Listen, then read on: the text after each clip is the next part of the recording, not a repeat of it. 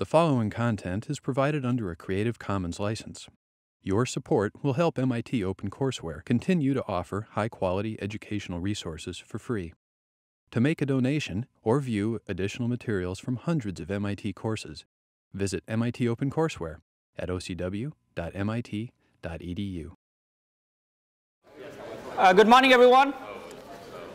Get started on uh, lecture number two in a four lecture sequence of shortest paths. So last time we talked about a general structure for a shortest path algorithm. Uh, today we'll actually look at a concrete algorithm that's due to Dijkstra. And uh, before we get to that, I want to do a little bit of a review of uh, the concepts that we covered in the lecture last uh, week. Uh, in particular, we talked about this notion of relaxation, which is a fundamental operation in all shortest path algorithms. And I want to go over that again. We'll look at a couple of special cases today with respect to algorithms for shortest paths. We'll look at a directed acyclic graph when your graph is, has no cycles in it, regardless of whether you have negative edges or, or not, uh, there's a straightforward algorithm that we'll look at to find shortest paths in DAGs.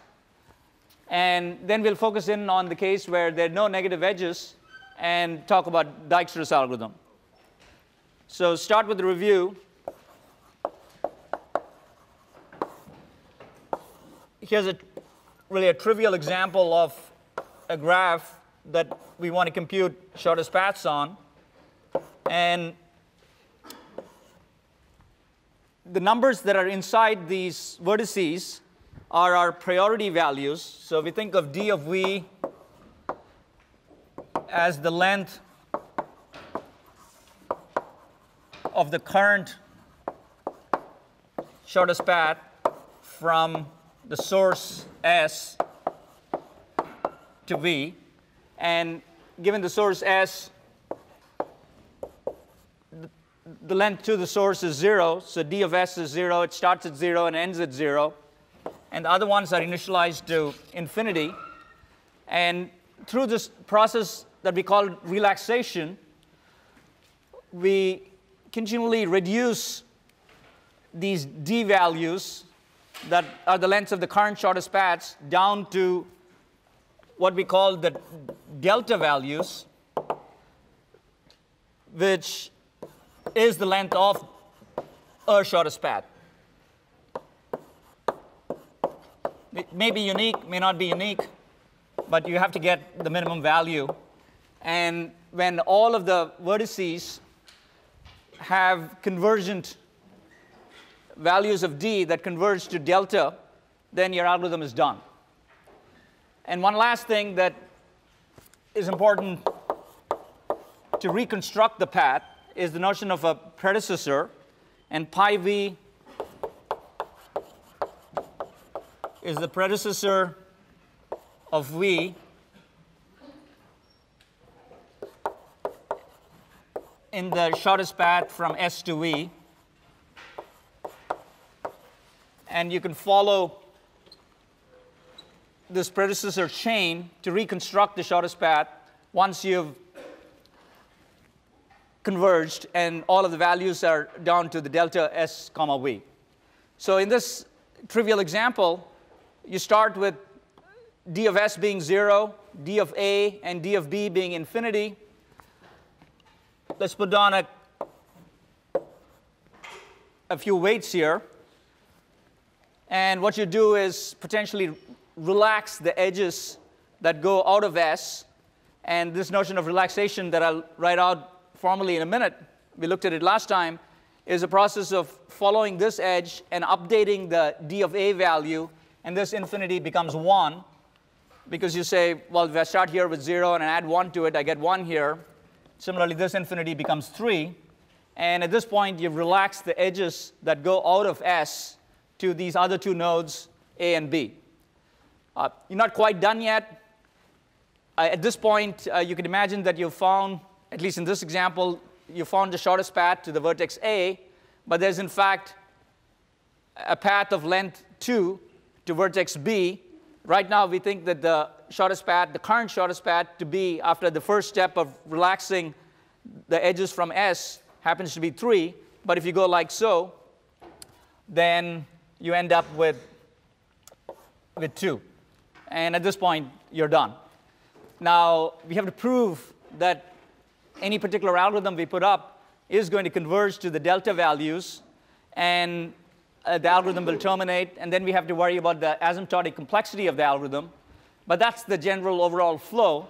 And we'll look at, as I said, two algorithms today, both special cases, one for DAGs and one for non-negative edges. And we'll go through and maybe not do a formal proof, but certainly give you strong intuition as to why these algorithms work. Um, any questions about this material? Okay. So what I want to do is uh, give you a sense for why this relaxation step is useful, but also importantly safe or correct. And recall that our basic relaxation operation, which we kind of did over here, as we updated the infinity value to 1 and the 3 value to 2, etc., looks like this which says if d of v is greater than d of u plus w u v, then I'm going to update d of v to be d of u plus wuv. You found a better way of reaching vertex v, a shorter way. And this way happens to be going through the vertex u, so you update not only the priority value, but also the predecessor relationship. All right, that's the relaxation step. Now, I want to be able to show that relaxation is safe. Um, what do I mean by that? Well, I want to make sure that I never relax an edge and somehow do something wrong which gets me a value that's less than delta SV. I, I want to be able to converge from the top. I want to be able to start with these infinity values because I don't have a path to this particular vertex and continually reduce the values of the priorities and then get down to delta, the, the correct values, and don't go, I don't want to go any further.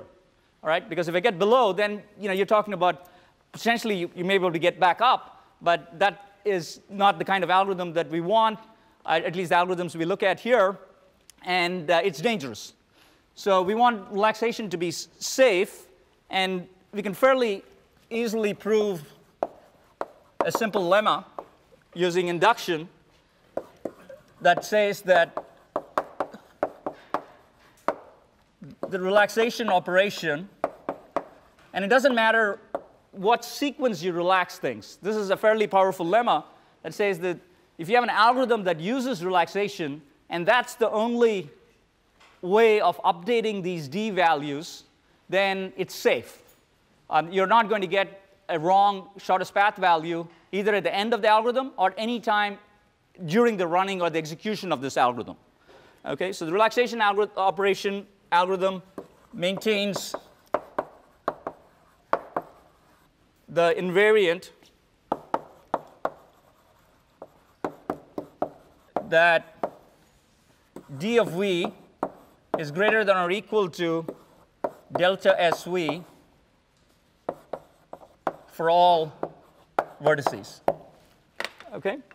So that's a powerful lemma. It's a fairly straightforward lemma to prove, but it's an important lemma. It, it tells us that we can create the generic structure of the shortest path algorithm that I talked about last week. Uh, says, you know, pick an edge, I'd relax it, pick another edge, relax it, and hopefully everything will work out and you'll get your delta values. Um, and what this lemma says is that uh, you'll never get something in the middle that is less than your shortest path value. And if you keep running over for a long enough time, depending on the particular heuristic that you use for selecting the edges, your algorithm will eventually terminate, and hopefully it, will run in you know, polynomial time. Uh, so how do we prove this? I'm going to do about half of it and try and get you to finish it. So it's by induction on the number of steps in the sense that we are going to essentially assume that d of u is greater than or equal to delta SU. And we're going to do this relaxation operation. So it's like a base case is that this is correct. And now we want to show that the relaxation operation doesn't make d of v incorrect. Um, and so that's the inductive hypothesis. Um, now we can say by the triangle inequality that I talked about late in last week's lecture, you have delta SV less than or equal to delta S comma U plus delta U comma V. And what is that? Well, that just says if I have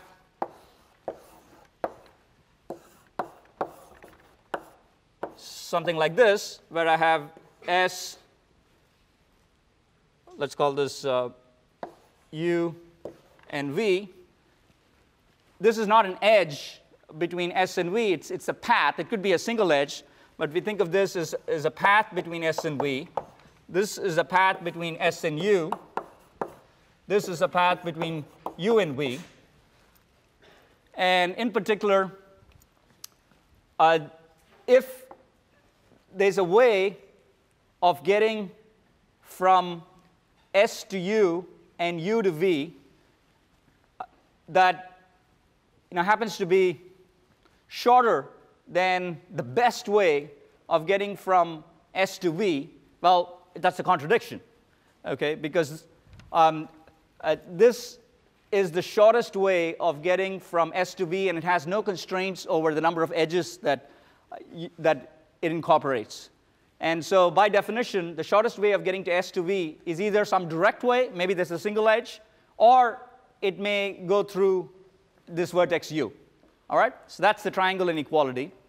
Um, notice that what I have here is something where um, the going from S to A to B is actually shorter than going from S to B.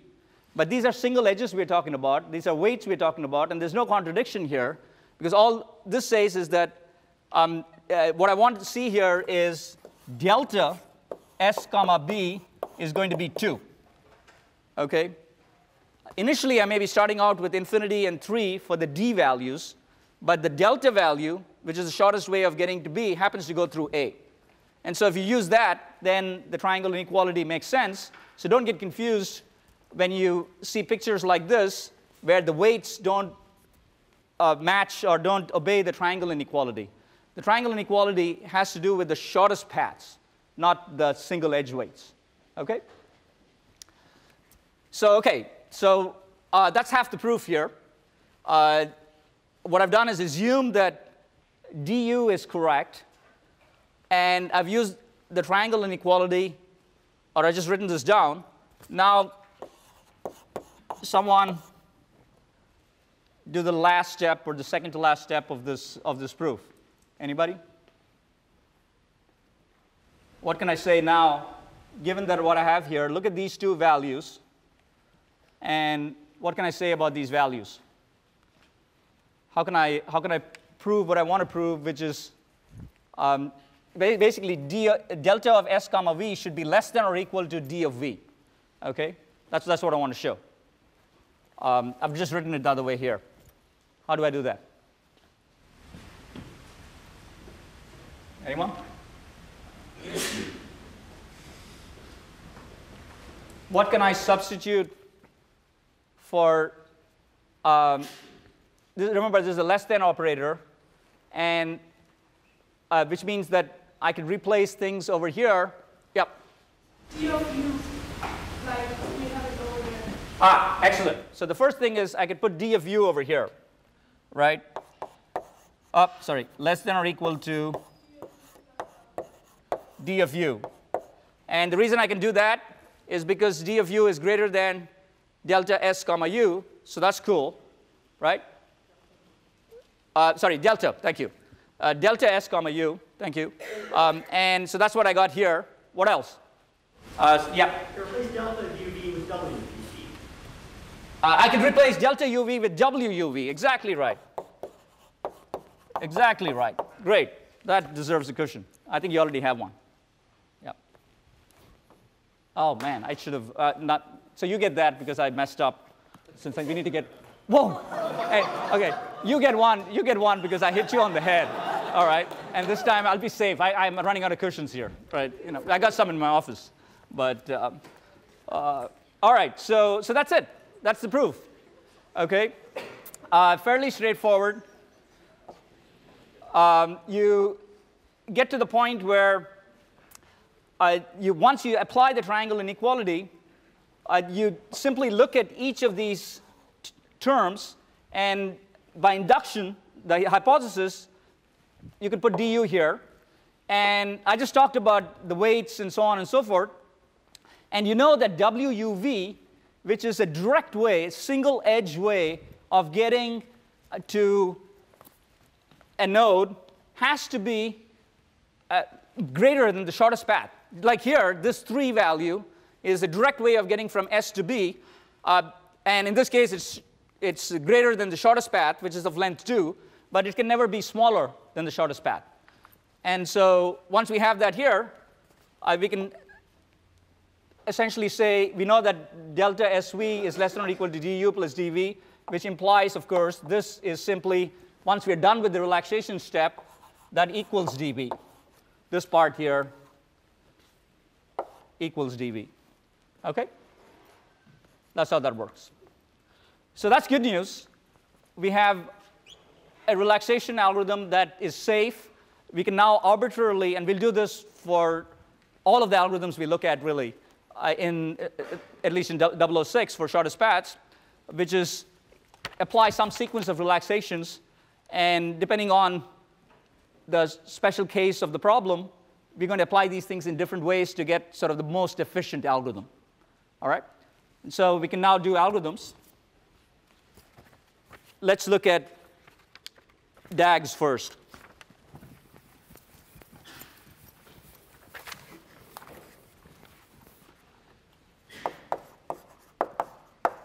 So DAG stands for Directed Acyclic graphs. So that means we can't have negative cycles, or we can't have cycles, so we can't have negative cycles. So that's why this is an interesting special case. Um, it makes things a little bit easier for us because we don't have to worry about negative cycles. We're actually going to look at DAGs that have negative edges in them.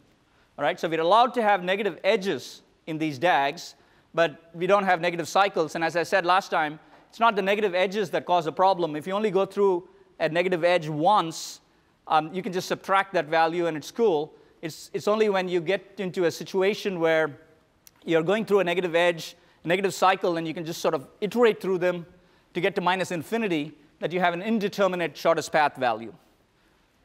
All right, so the way this is going to work uh, whenever you have a DAG, by the way, the first thing you want to try, and this is certainly true in your problem set, when there's a question, try to topologically sort it. Okay? It's a fine hammer to use when you have a DAG. And there's no, it's not, it's not an exception here. Uh, it, to do shortest paths, we're going to topologically sort the DAG.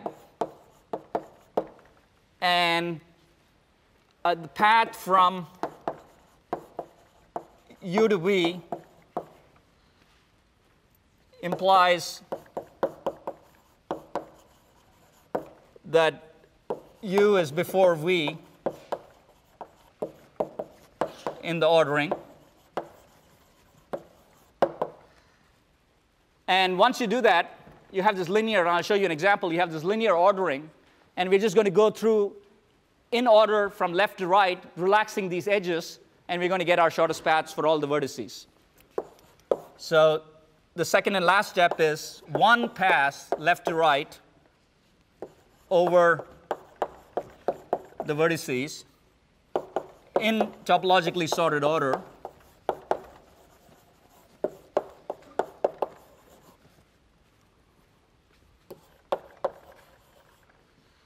And we're going to relax each edge that leaves the particular vertex we are trying to process right now.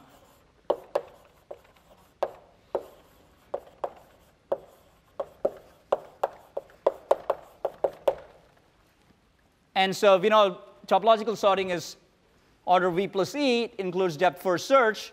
And this pass over the vertices, you're touching each vertex, and you're touching every edge a constant number of times, in this case, once. So this is our first special case shortest path algorithm, and that takes order v plus e time. All right? Why does this work? And there's just one little interesting aspect to this, which is related to a DAG and the relationship between the DAG and the particular starting vertex that we're going to be looking at. So just as an example, suppose I have a DAG like this, and I mark this vertex as S, and I want to find the shortest path from S to these other nodes that are A and B. Well, they don't exist, right? So in this case, uh I'm going to have uh, shortest path to A being infinity and shortest path to B being infinity, and this is a trivial example. So this algorithm is general.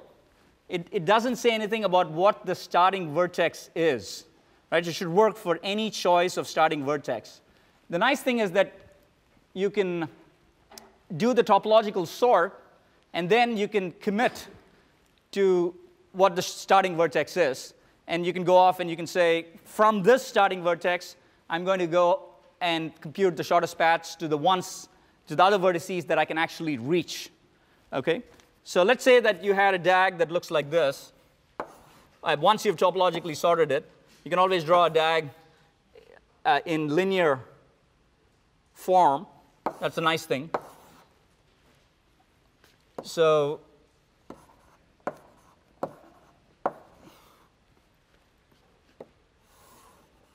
I'm going to put edge weights down in a minute.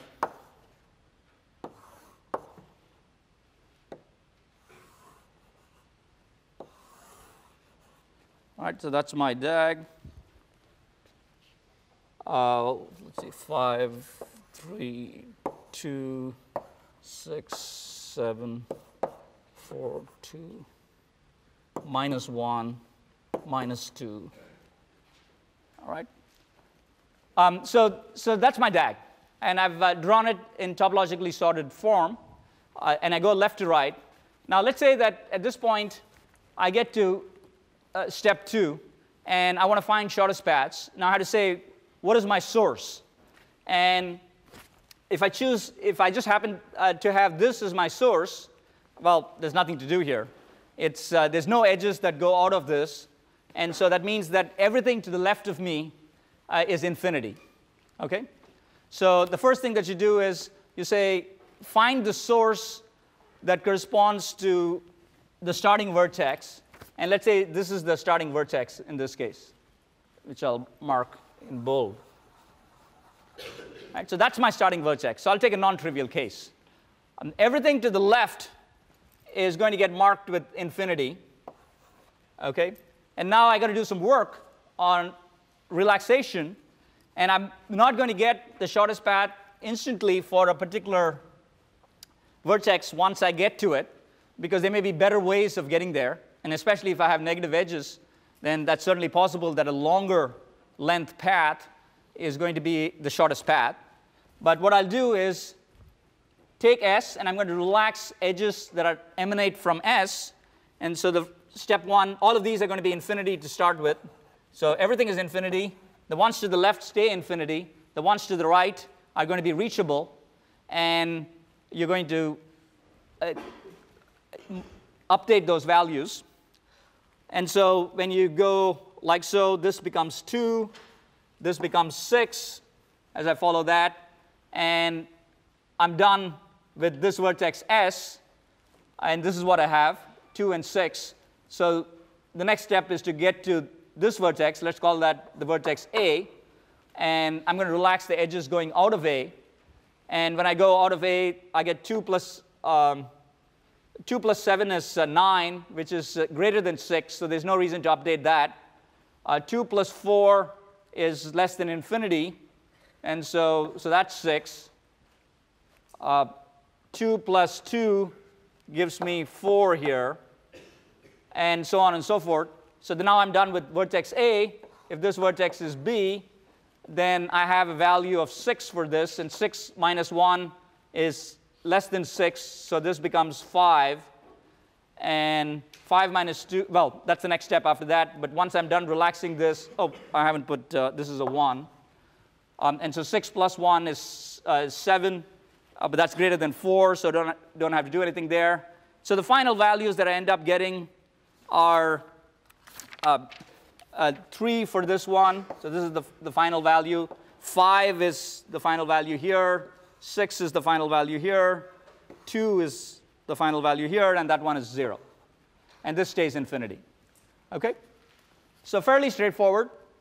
Uh, do a topological sort, find the starting point, and then run all the way to the right. Uh, interestingly, this is actually a really simple example of dynamic programming which we'll talk about in gory detail later in November. But what I have here is the simplest case, really, or the simplest special case of a graph that has an order VE plus E shortest path algorithm. And the reason for that is we don't have cycles. All right? Um, any questions about this? People buy this? It works? OK. So we got one algorithm under our belt. And we'll look at uh, really a more interesting case because most graphs are going to have cycles in them. But we will stay with the special case of no negative edges now. Right? So Dijkstra's algorithm doesn't work for negative edges. So it's different. This, this algorithm is not subsumed by Dijkstra. That's important to understand. So Dijkstra's algorithm works for graphs with cycles, but all of the edge weights have to be either zero or positive. This algorithm works for DAGs that can have negative edges, but you can't have cycles. So both of these algorithms have you know, their place under the sun. So let's take a look at uh, Dijkstra's algorithm. Actually, I guess I have a demo. So the one demo we have in 6006.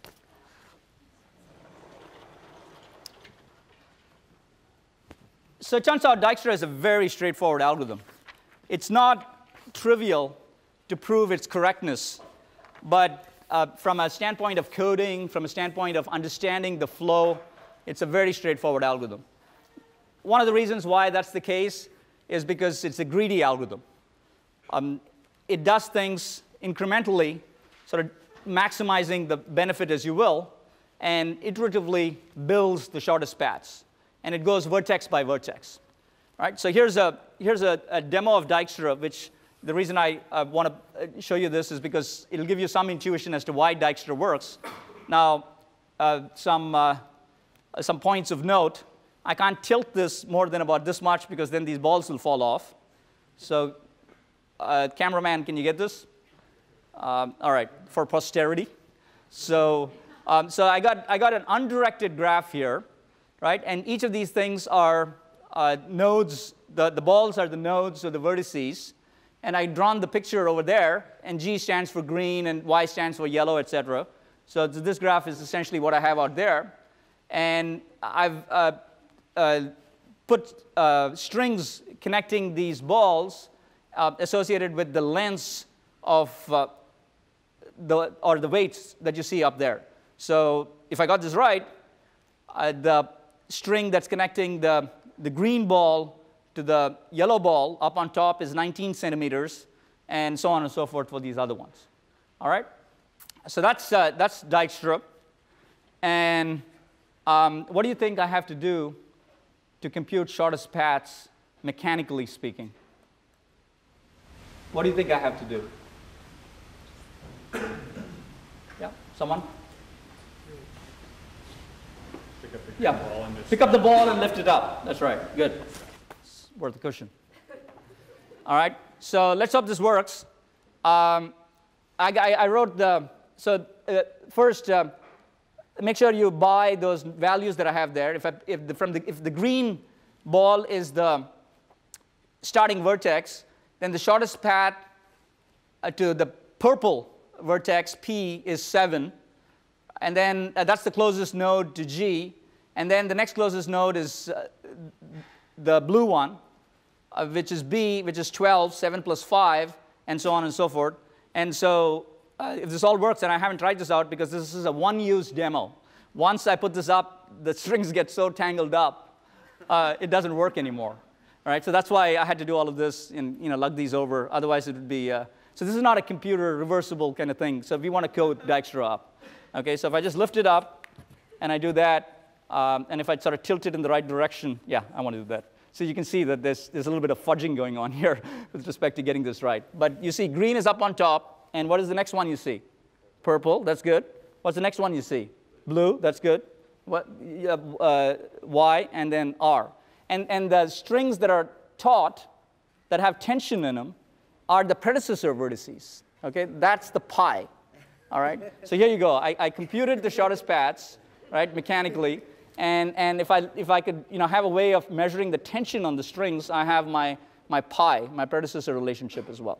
Right? Now, let's see if this works. This, is, uh, this works, right? So, so if, if, if, the second thing doesn't work, don't hold it against me.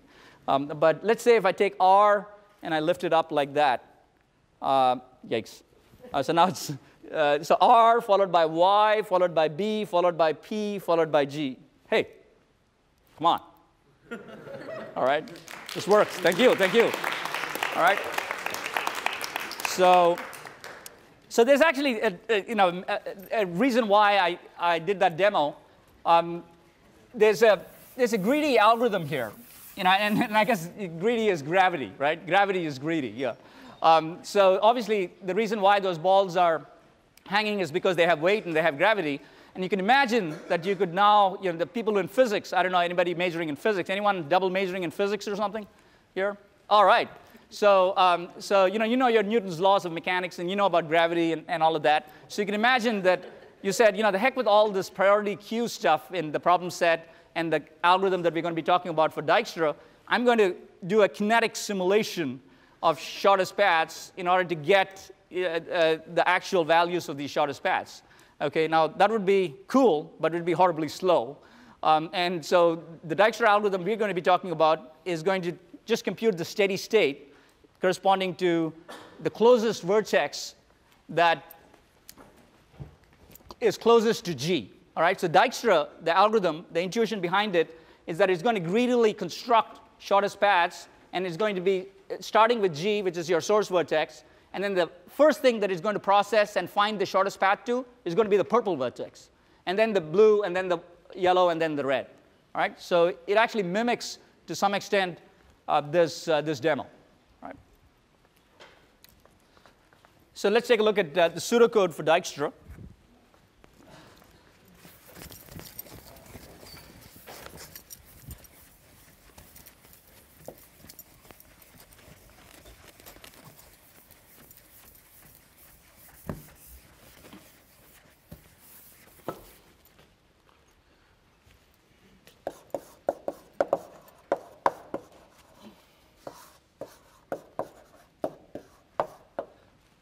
So G is your graph, W are the weights, small s is the starting vertex.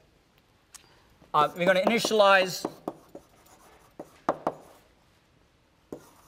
G and S, which means we just mark S as the starting vertex, and we're going to also have this capital S that I'll use these little bars to differentiate from small s. So this is a set, capital S is a set, and we're going to initialize that to null.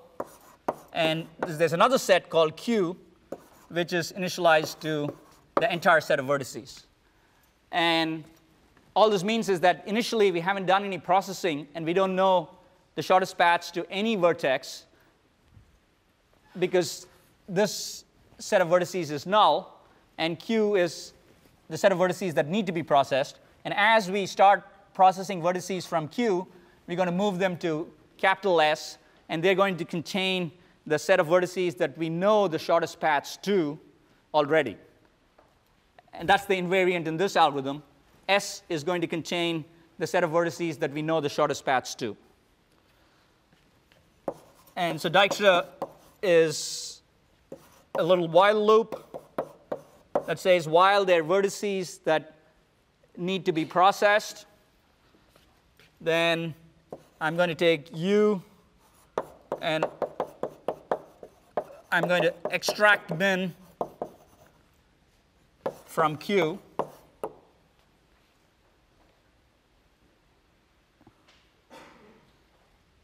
And this is going to delete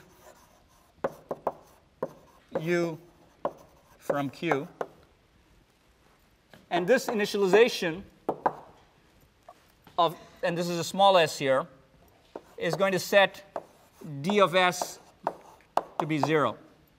That's all this initialization does, because that's all we know. Uh, we uh, have a starting vertex, and we know that the shortest path to the starting vertex from the starting vertex is 0. So all that means is that all of the other ones have infinity values. So at this very first step, it makes sense that extract min q is going to pull the starting vertex small s out and is going to assign it to this u value. And we're going to set s to be capital S to be capital S union U. And then all we have to do is relax the edges from the vertex that we just added. So for each vertex V belonging to adjacent U so that you can reach from U, we relax UVW. All right, that's it. That's Dijkstra. Um, it's a greedy algorithm. It's iterative. And the reason it's greedy is because of this step here. It's just picking the min priority from the unprocessed vertices Q and essentially claiming that this min value is something that you've already computed the shortest paths for. So when you're putting something into S, you're, you're saying, I'm done. Uh, I know the shortest path to this particular vertex, and I, I need to now process it in the sense that I have to relax the edges that are coming out of this vertex and update the priority values because relax is going to go change the d values, as we know, corresponding to the vertex v. Uh, it might change the value. It might not, but uh, there's a possibility that it would. And, and you're going to do this for all of the edges that are emanating out of the vertex u. And so you may be changing a bunch of different priority values. So the next time around, you will get a different minimum priority vertex. Um, and for two reasons. One is that you've extracted out the minimum priority vertex. You've deleted it from Q. And the second reason is that these priority values change as you go through the loop. All right? And so in our demo, essentially what happened was the first time, you know, the process of lifting the green vertex corresponded to choosing it as a starting vertex. And you know, the first thing that was closest to it, which had the, the, the taut string hanging from it, um, has the min priority value, and you pull that out, and then so on and so forth as you go down. Um, and uh, I'm not going to go through a, a, proof of this, but it is certainly something that is worth reading. It's a half a page proof, maybe a page in CLRS, and you should read the proof for Dijkstra, the formal proof for Dijkstra, which just essentially does all the accounting and gets things right, and uses the lemma that we have with respect to the relaxation operation of being, uh, being safe. Okay? Um, any questions about Dijkstra or about the pseudocode in particular? I guess you guys are going to code this at some point. Yeah? Are the vertices comparable? In what way? Oh, so uh, that's a good question, and I should have made that clearer. Um, the, the extract min is a so Q is a priority queue, uh, and the priorities of the vertices are the D values, okay? And so initially, uh, Q is, uh, so this uh, uh S being uh, null is clear, I hope. Um, that's clear. And then Q being the set of vertices are clear as well. Now Q is a priority queue, okay?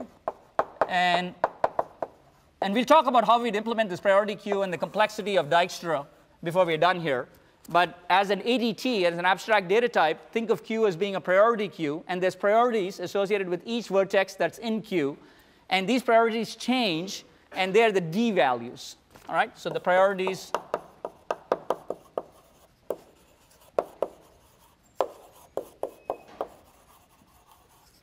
So initially, d of s, small s, is 0, and all of the other ones are infinity. So it's clear that the very first time you're going to set u to be small s, which is the starting vertex. And then you relax the edges coming out of s, potentially change some of these other infinity values of the vertices that you can reach from s to be less than infinity. And uh, you're going to essentially change uh, the values of the priority queue and go around and then select the min value the next time and so on and so forth. Okay? Uh, thanks for the question. Any other questions? Okay, so let's just uh, go through a couple of steps in an example. I'm not going to go through the whole thing but you'll, you'll see uh, an execution of Dijkstra in the notes. I think it's worth spending just a couple of minutes going through the first few steps of a Dijkstra execution, uh, just so what, how this priority queue works is clear. And let's take a look at a directed graph that has five vertices.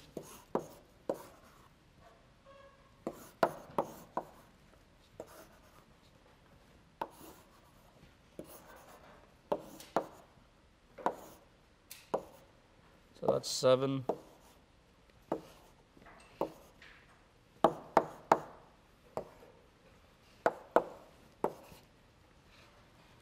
Right.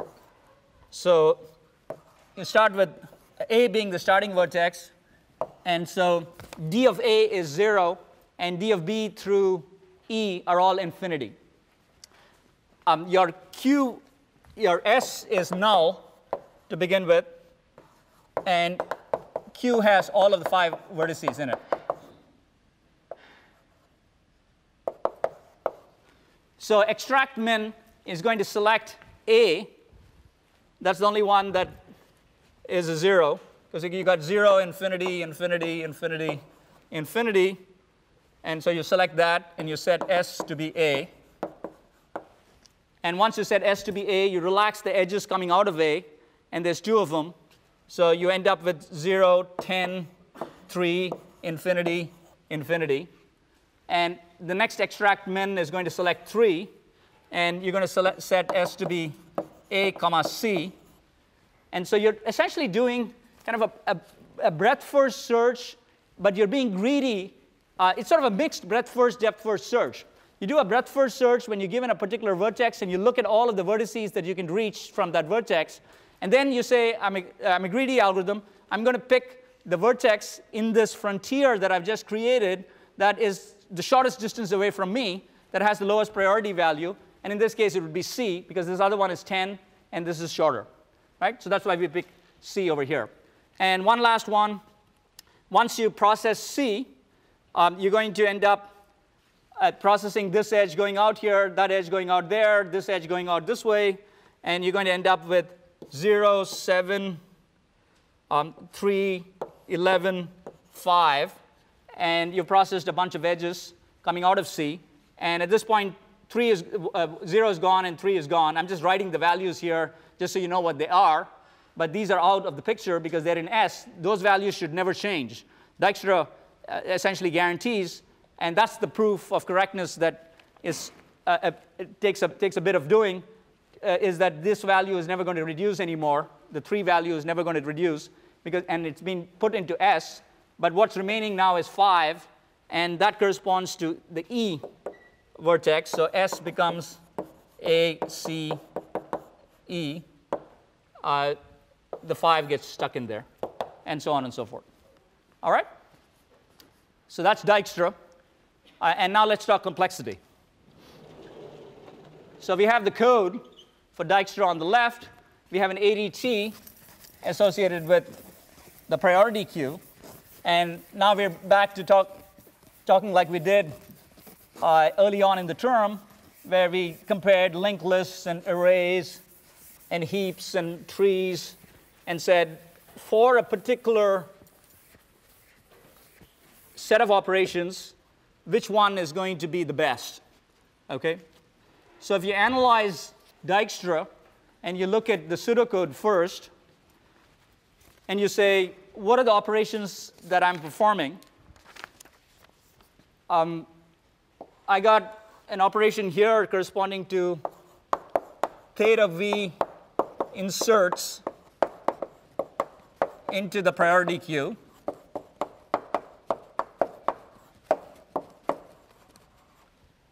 And that's uh, inserting things into queue. I got theta v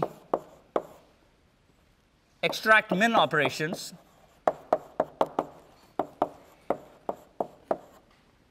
I'm only going to delete a vertex once, process a vertex once, and that's why I have theta v extract operations.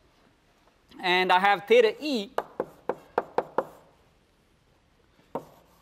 what decrease key or update key operations. Because when I do a relax here, I'm uh, decreasing the key. It's in particular, it's not an update key, it happens to be a decrease key, which is not a big deal. We don't need to get into that. But you are reducing the d value, so it's a decrease key operation. And, and again, it's theta e, because you're only going to process each edge in a directed graph, you're only going to process each edge that's coming out of a vertex once, since you're processing each vertex once and you're looking at all of the outgoing edges from that vertex. Okay? So that's what you can get looking at the pseudocode. And now you're a data structure designer, and you got some choices here with respect to actually implementing the priority queue. And let's look at the complexity of Dijkstra for arrays. So suppose I ended up uh, using an array structure for the priority queue, uh, then uh, what do I have? I have, if I look at this, uh, my uh, extract min, what is the uh, complexity of extract min in an array? Theta v. And what's the complexity of a decrease key in an array? I just go access that element and I change it. It's theta 1, right? So I have theta v for extract min. I'll just call it ex min theta 1 for decrease key. And if I go do the multiplication, I get theta v times v plus e times 1, or a constant, which is theta v squared. Because I know that e is order v squared. Right? I, if I have a simple graph, it may be a complete graph, but we talked about this last time. E is, is at most v square. So I can just call this theta v square. All right? So we have a theta v square Dijkstra implementation that uses an array structure. But do we want to use an array structure? What, what uh, data structure should we use? Yep. You could use a min heap. Exactly right. So if you use a binary min heap,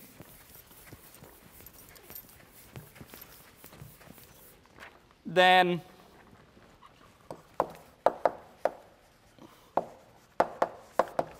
my extract min is finding the min is uh, constant because you just pick it up from the top. Uh, but we know that if you want to update the heap and delete it, then it's going to take uh, theta log v. Um, and decrease key is the same thing, theta log v. So that's worse than an array. And if I go do the multiplication again, I get v log v plus e log v. Okay? And this is not quite the complexity that I put up, as some of you may remember last time. Uh, this is not the opt optimum complexity of Dijkstra or an optimal complexity of Dijkstra. Um, you can actually take this out by using a data structure that we won't talk about in 006, but you can read about in, it's not 6006 level material. You're not responsible for this in 006, but it's called a Fibonacci heap. And you might learn about it in 6046.